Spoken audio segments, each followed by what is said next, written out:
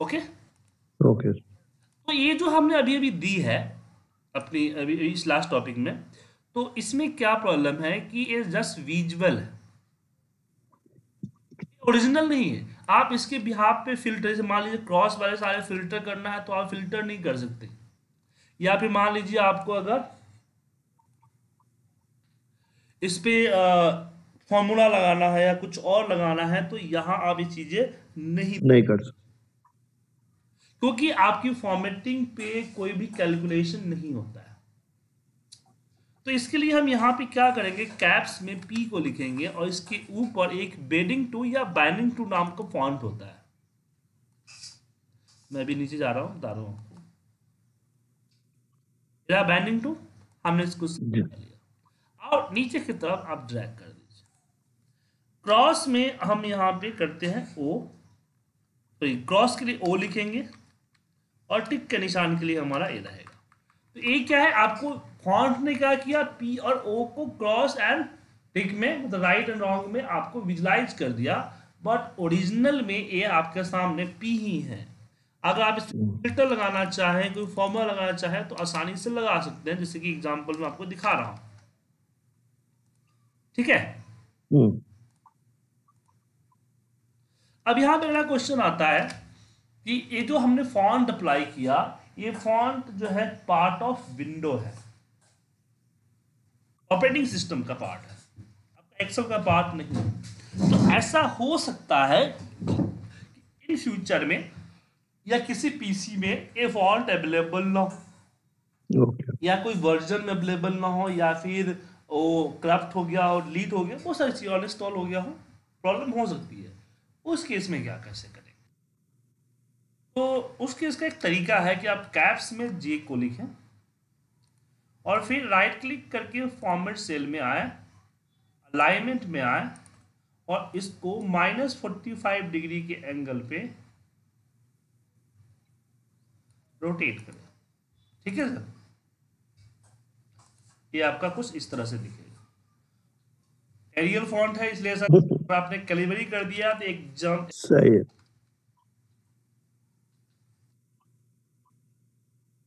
टिक का निशान दिख रहा है ना सर जी जी। और क्रॉस के लिए तो आपके पास एक्स है। जी। अब यहाँ पे अगला ऑप्शन आता है कि ये जो अलाइनमेंट का यूज़ किया है क्या इसी में यूज़ होता है या कोई और चीज़ में भी यूज़ हो सकता है? तो चलिए अलाइनमेंट के के लिए एक आपको सिंपल सा एक एग्ज़ाम्पल देता हूँ। जैसे कि मेरे पास नेम है और मैंने यहाँ पे डेट्स ले लिए अटेंडेंस शीट एक बना रहा हूँ।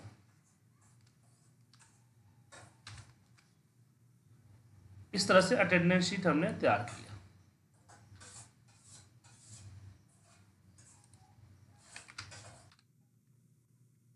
कुछ नाम भी दे देता हूँ। और यहाँ पे प्रेजेंट भी दे देता हूँ।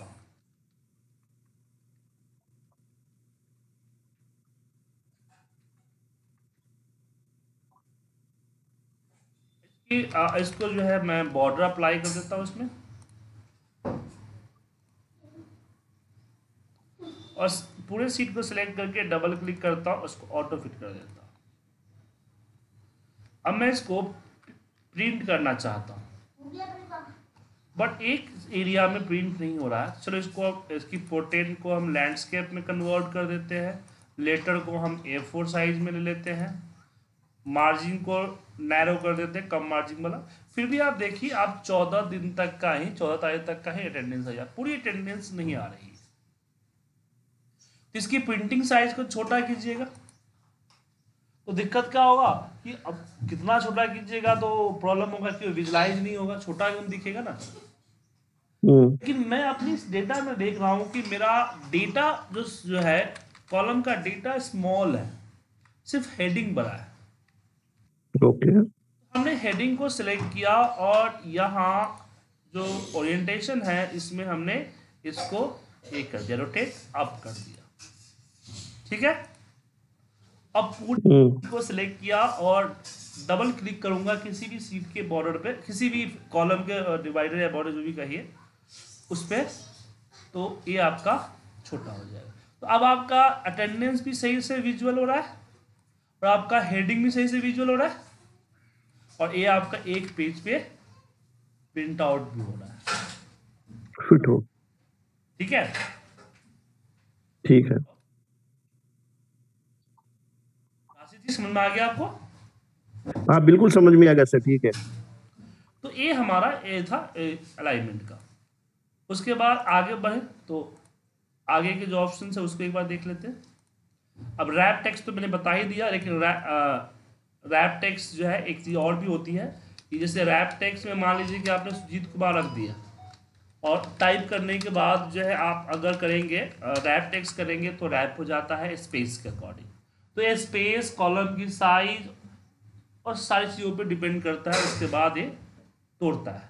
लेकिन मुझे अपने हिसाब से नीचे डालना है टाइप करते समय. जैसे हमने टाइप किया, मुझे अब नीचे टाइप करना है. तो ऑल्ट एंटर प्रेस कीजिए, नीचे आ जाए. नीचे आ जाए एंटर लेकिन एक चीज़ और भी है जब आप रैप टेक्स्ट करते हैं जब आप रैप टेक्स्ट करते हैं तो क्या होता है? आपकी रो की साइज़ बढ़ जाती है और ऑटो फिट करते हैं तो कॉलम की साइज़ बढ़ जाती है। लेकिन मुझे ना रो की साइज़ बढ़ानी है ना कॉलम की साइज़ बढ़ानी है। मुझे जो करना है वो ये करना है कि मेरा जो कॉलम का साइज़ है सेल का साइज़ है उसी साइज़ में मेरा टेक्स्ट फिट हो जाए। तो उस केस में हम यहाँ अलाइनमेंट में ही हमारे पास ऑप्शन होता है shrink to fit okay column Okay. बड़ा करेंगे तो अपने आप को बड़ा करेगा छोटा करेगा छोटा करेगा। लेकिन बड़ा ओरिजिनल साइज़ तक होता है। ऐसा नहीं कि आपने बहुत बड़ा कर दिया तो ये बहुत बड़ा हो जाएगा। जी। आपको जैसे जैसे बड़ा करना चाहते हो जैसे बड़ा हो तो इसकी मैक्सिमम साइज़ यहाँ पे डाल दीजिए जो टेक्स साइज़ मैक्सिमम डाल दीजिए। तो जैसे टेक्स बड़ा होगा वैसे बड़ा होगा। जैसे मैंने यहाँ पे डाल दिया वन हंड्रेड ठीक है? ठीक है। अब जैसे मैं बड़ा करूँगा बड़ा होगा। छोटा करूँगा जितना बड़ा करूँगा उतना बड़ा होगा। ठीक है? ठीक है सर अब रैप की बात करें इसकी मर्ज सेल की। तो मर्ज सेल तो आपने जाना ही मर्ज करते हैं कैसे हम? देखिए मर्ज जी जी। होता है इसी में एक क्रॉस मर्ज क्रॉस मर्ज क्या करता है कि इस तरह से वन बाय वन इस तरह से मर्ज करता है। रो को नहीं कॉलम को मर्ज करेगा। ओके ओके उसके बाद अगला जो टॉपिक आता है वो आता है नंबर फॉर्मेटिंग अब देखिए आपने अलाइनमेंट को जान लिया आपने फॉन्ट को जान लिया आपने बॉर्डर को जान लिया और फिल को जानने लायक कुछ है नहीं। ठीक है? प्रोटेक्शन ठीक है सर प्रोटेक्ट प्रोटेक्शन वाली क्लास में कराएँगे तो इसको भी इग्नोर कीजिए। अब बात करते हैं नंबर फॉर्मेटिंग की। तो नंबर फॉर्मेटिंग में जैसा नंबर डालेंगे उस तरह की फॉर्मेटिंग होती है। जनरल है जनरल है अगर नंबर कर देंगे तो एडिशनल प्लेसेस डाल सकते हैं थाउज़ेंड सेपरेटर डाल सकते हैं और यहाँ पे आप डाल सकते हैं अपना निगेटिव्स नंबर आने पे क्या दिखना चाहिए? माइनस ना चाहिए कलर ओके ब्रैकेट या फिर ब्रैकेट और माइनस दोनों दिखना चाहिए।